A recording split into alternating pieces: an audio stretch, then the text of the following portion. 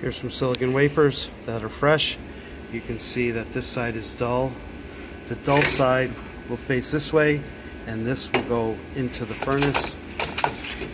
That's the shiny side. Let's see if I can load it and film at the same time. So I have the shiny side, uh, the dull side. Ooh, there we go. So this will be, this goes in position one.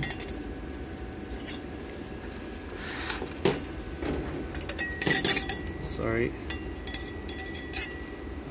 Don't worry, I won't film myself doing them all. Alright. So it's in there.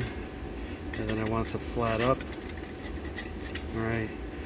So then I'll put two more. I mean, I'll put another one.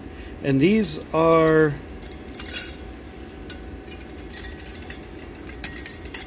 what we call dummies. They're not like the payload. This is to make sure that the temperature and the gas flows are all stable. Alright, so you can see shiny side towards me, flat up. That would be the payload, uh, the dummies. Then I'm going to put five wafers for the process and then two more. Alright. Um, just let me do that.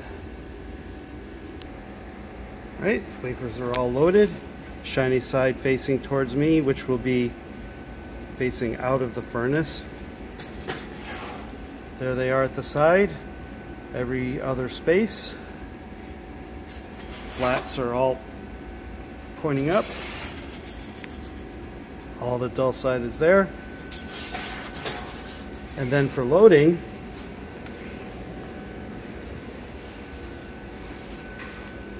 The furnace is cold right now, so I don't really need the thermal glove, but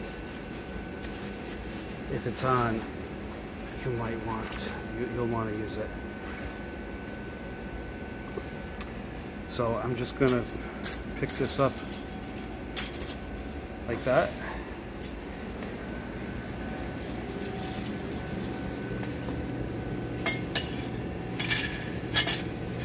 And just put it in there.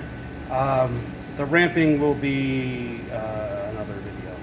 But while we're waiting for that, as I have other processes to do, I'll put the cap back on. Now it's just nitrogen is flowing pretty um, stable state.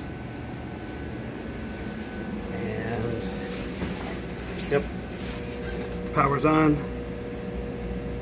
So, yeah it's it's coming up, but um, I'll just make a separate video for the rest.